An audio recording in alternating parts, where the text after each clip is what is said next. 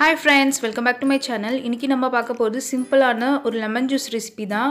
Video skip பண்ணாமல் பாருங்கள் அதுக்கு முன்னாடி நம்ம சேனலை சப்ஸ்கிரைப் பண்ணாதவங்க ப்ளீஸ் சப்ஸ்கிரைப் பண்ணிக்கோங்க. பக்கத்தில் இருக்க பெல் பட்டனை கிளிக் பண்ணிக்கோங்க.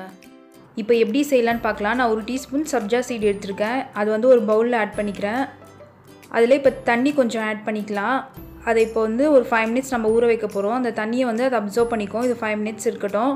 இப்போ வந்து நம்ம லெமன் ஜூஸ் ரெடி பண்ணிக்கலாம். ரெண்டு லெமன் எடுத்திருக்கேன் நான். அந்த ரெண்டு லெமன் இப்போ நம்ம கட் பண்ணிக்கலாம்.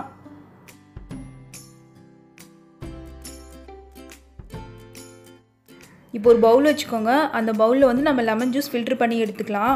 இந்த சப்ஜா சீட் பார்த்திங்கன்னா நம்ம பாடியில் இருக்க ஹீட்டை வந்து தணிக்கும்.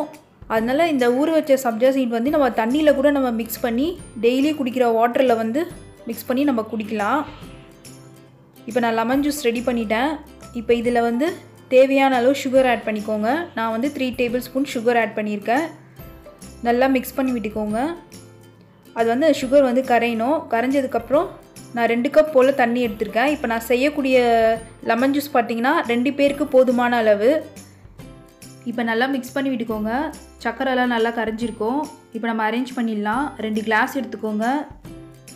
அதில் ஐஸ் க்யூப் இப்போ ஆட் பண்ணிக்கலாம். அப்புறம் நம்ம ரெடி பண்ணி வச்ச லெமன் ஜூஸ் வந்து இதில் ஊற்றிக்கலாம்